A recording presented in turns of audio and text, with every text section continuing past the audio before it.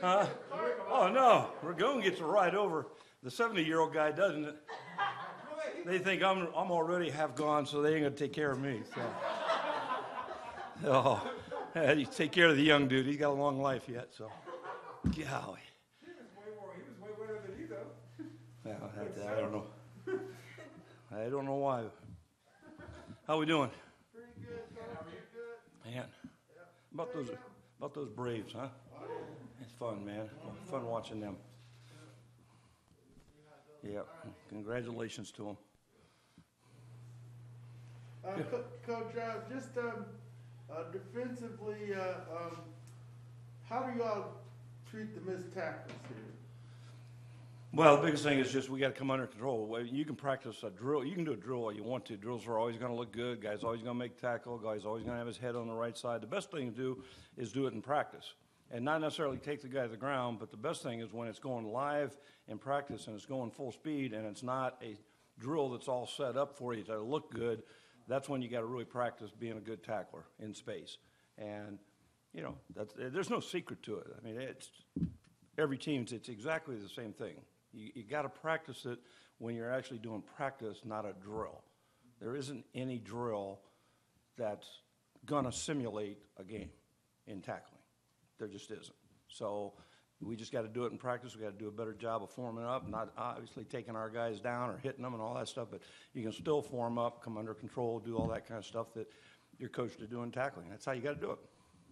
And uh, pressure wise, um, I got my numbers, of course, I'll take yours if you give them to me, but, uh, I got eighty-nine blitzes, ten sacks, uh, twenty-one hurries, and fifteen hits. Um, can y'all ramp that up, or is that? doing What, so what's, what is the question part of that? Uh, can your pressure be increased? Why? Uh, to maybe help the secondary out in coverage. You think that helps the secondary putting pressure? Oh, yeah, got your interception last week. Where'd you coach secondary? Um, um, Huh? Smyrna, Smyrna Spartans, coach of the year two thousand and Oh, that's, five. that's great. So when you zone pressure, how many zones are there underneath, open? It depends Yeah, it depends on what. on, uh, which ones you, 'em. So all I know is when you zone pressure, there's more zones open than when you don't pressure. Is that correct? Correct. Okay, and if you're in man coverage and you're not playing man very good and you pressure, is there more pressure now on the secondary if you don't get there than if there's not? That's correct. Okay, you answered my question. So, so, wait, so let's just, I sum it up, that's a yes. So we tried pressuring against Philly. How'd that work? How'd that look? It- it- How'd it look? It didn't look, uh, Didn't look too good. Didn't look too. Okay, so I told you a couple weeks ago, we had to back off some of the stuff that we had to do because we weren't getting there, and we weren't running things quite correctly, so we had to clean some stuff up and make it simpler. Okay, so that's what we've done. Okay, so you guys get all into this pressures and sacks and all this stuff, been doing this forever. And it's not based on, first of all, if you run a pressure, you better get there. That's the number one thing about pressure. It's not about the secondary, it's about the pressure. If you aren't getting there, you're now hanging the secondary out to dry more than you did if you didn't pressure. Right? Is that right or is that wrong? That's correct. That is correct. So if we're not getting there in pressures, which we weren't, then why would I want to hang the secondary out to dry when I get a different secondary in there almost every down? Has that been the case in the secondary? Have we had different rotating parts in the secondary these last three weeks? Yes, sir. Yes. Have we won two out of the last three weeks? Yes. Okay. You answered my question. Thank you, coach. You're welcome. I'll ask you a more general question. Okay. You have won two out of the last three weeks, so if you look at that, and especially trending up going into the second, third of the, the uh, season, what would you say, coach, is the maybe one or two things that you've seen specifically that the defense has contributed to those wins? Well, first of all, we, we got a couple uh, interceptions that really helped. You know, over in London, Hawk got one. We got one right before the half. We had a big one in that sudden change with Foye getting that all the way back down, setting up a score. Where we need to improve, I'll probably tell you this way. What I think, what where we're not doing well is a couple things. Is we got to play better man coverage okay? Because when we call man, that's when we seem to be getting hurt, okay? And part of that is because we have different defensive backs in there all the time, okay? And sometimes as a play caller, I also don't want to put a guy in harm's way. If the guy's just coming in, the guy was on the practice squad the day before, I'm not going to go in and call all these things that we practiced all week that he didn't get to practice. That's not fair to him. Then when he busts and everybody yells at him and says, hey, he was the fault, that's not fair to the guy. So sometimes when that stuff happens, I have to change the game plan and maybe call things a little differently to make sure that I'm not putting that guy in harm's way. But number one, we got to play better man coverage. Number two, we got to play better on third down. Okay, third down leads to red zones. Last week, in the very first drive, we had four third downs that we had a chance to get off the drive, off the field on the very first drive, right? That they went down and scored on. And I know we got to play better in the red zone too, but that's part of man coverage too. Most teams play man coverage down in the red zone, so we got to play better man. Got to play better in the red zone. But the biggest thing right now is getting off the field on third down. I mean, we did four. When you get a guy, you know, somebody four times in a drive on third down, you need to get off field on one of those, and we didn't. And so that, that drive was probably the worst drive of the game. So I know we missed a tackle at the end of the game that led to a score. There was a sudden change. We didn't get him, get him stopped on that one. But I'm just saying, we made a couple of nice big plays. That's been contributed. We had the interception the week before and gave the offense the ball in plus territory at, over in London, right?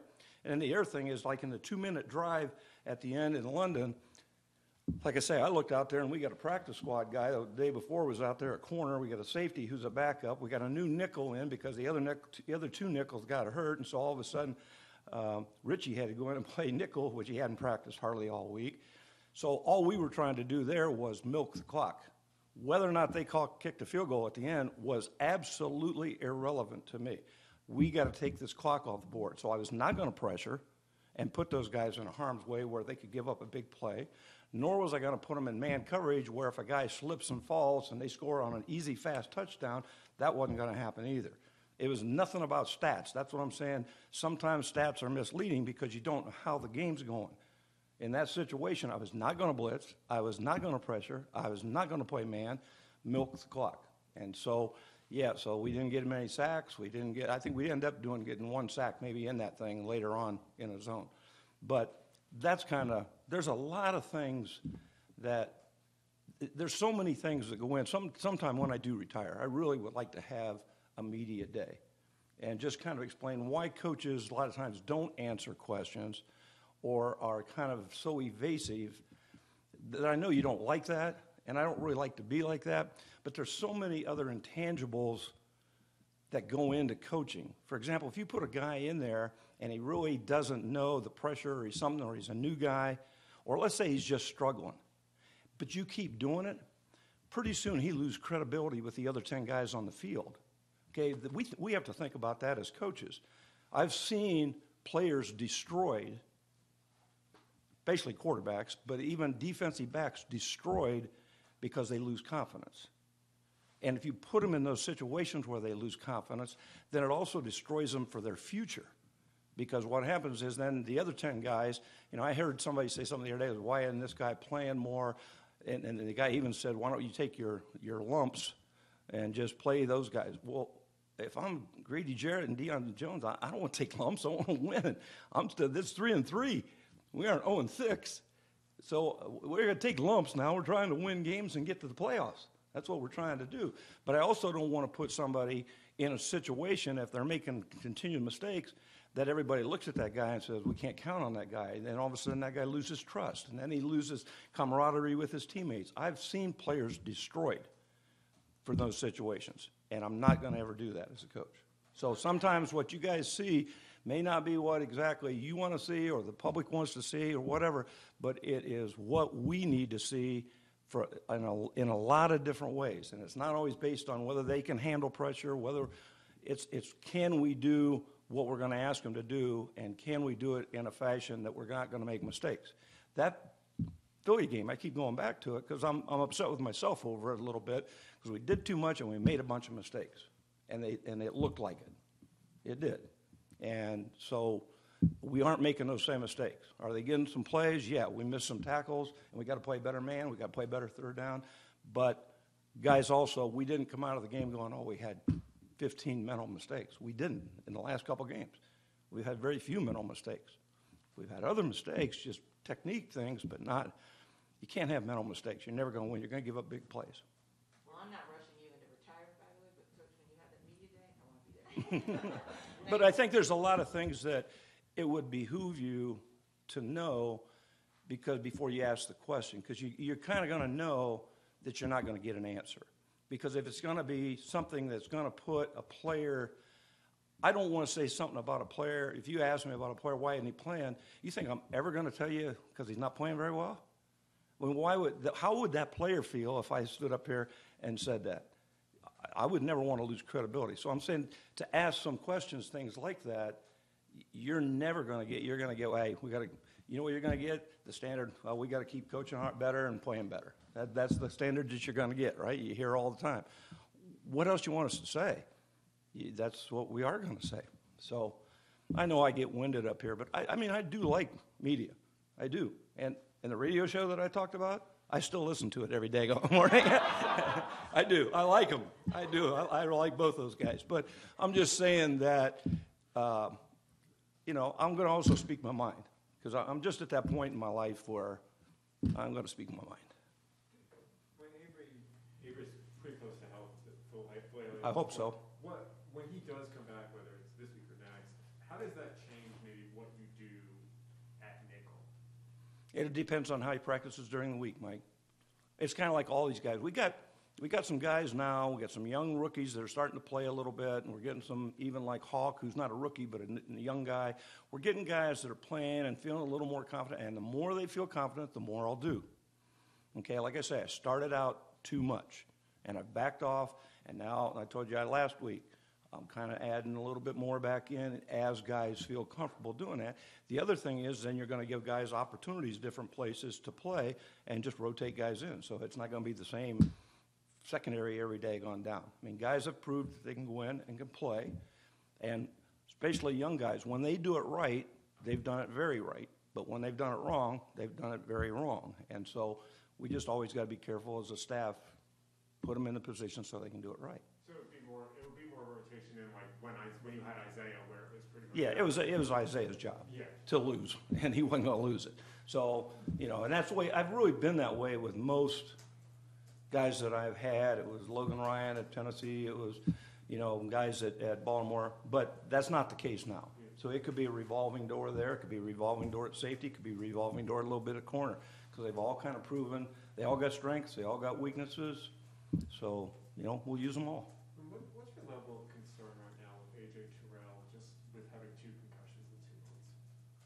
I don't know, I, because I don't know anything medical about that, and I don't even know if this last one was. I don't, It- it- I- I mean, on the injury report it was yesterday. I don't know. Look, that stuff is so far removed from me, I don't, I have, I have no idea. It all has to do with the doctors, the medical staff, and, and Arthur.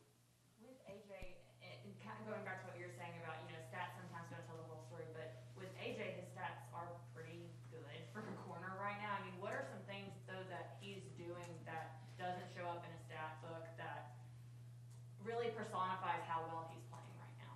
Well, there's a lot, he's a good example. Sometimes, like, if, if you're a corner and they never throw over to your side, how are you going to show up in the stat book?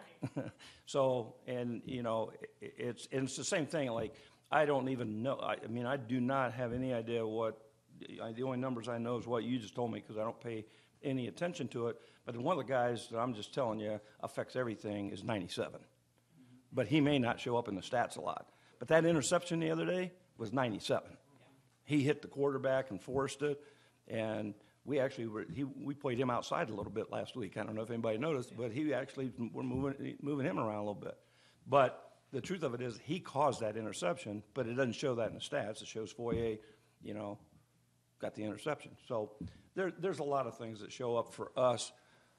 You know, um, I mean, it was, a lot of guys had good games. A lot of guys showed up. Obviously, Deion had a really good game. Got NFC Player of the Week. I mean, that's a we love that. Love seeing that stuff.